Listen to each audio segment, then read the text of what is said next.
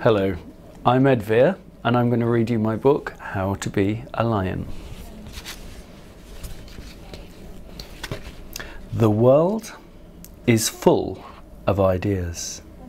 Big ones, small ones, good ones, bad ones. Some think this, others think that. Some say there's only one way to be a lion. They say lions are fierce. If they catch you, they will chomp you. Crunch, crunch, chomp. They say a lion can't be gentle. Well, they haven't met Leonard. Leonard loves to walk by himself, feeling the sun warm his back and the grass under his paws. Some days, Leonard walks to his thinking hill.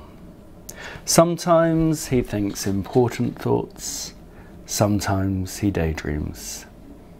Somewhere in between, he hums quietly and plays with words, putting them together this way then that way, making them into poems. Some say, wait, lions are not gentle. Lions do not write poems.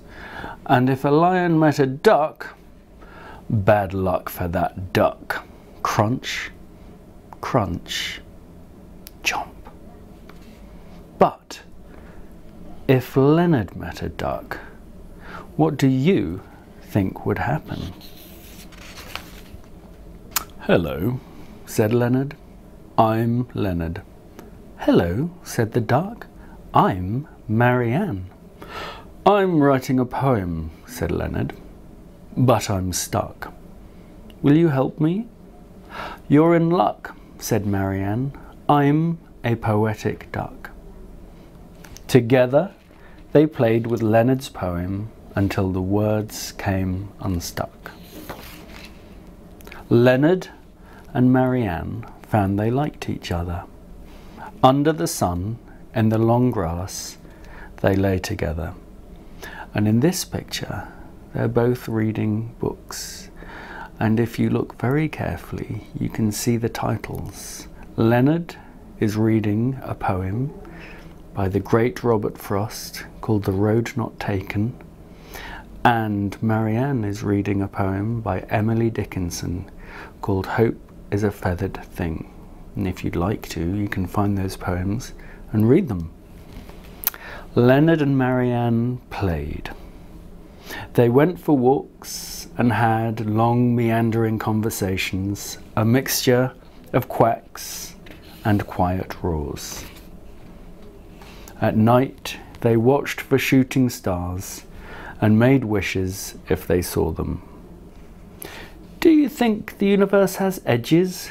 quacked Marianne. If it doesn't, said Leonard, will we fall out? Together, they are happy.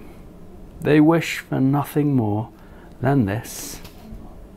Some say that a lion should have chomped a duck by now.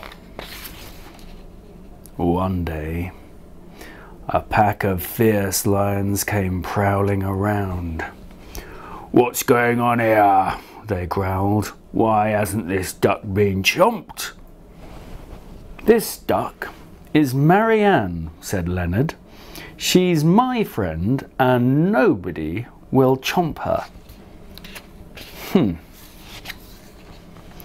The fierce lions came closer. We heard you're gentle. We heard you make up poems, but not jumping a duck. You've gone too far. The fierce lions growled and roared. There's only one way to be a lion. Leonard, you must be fierce. Must I be fierce? Said Leonard. Must I change? They're wrong, quacked Marianne, and we will show them why. Leonard and Marianne went to their thinking hill. They thought hard. After a while, Leonard hummed a serious hum.